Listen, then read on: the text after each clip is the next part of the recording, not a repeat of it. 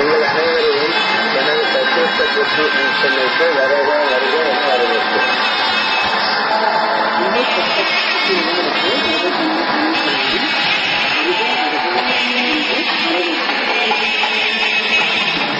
சார்பில் இருக்கின்ற முப்பத்தெட்டு ஃபங்க்ஷன்கள்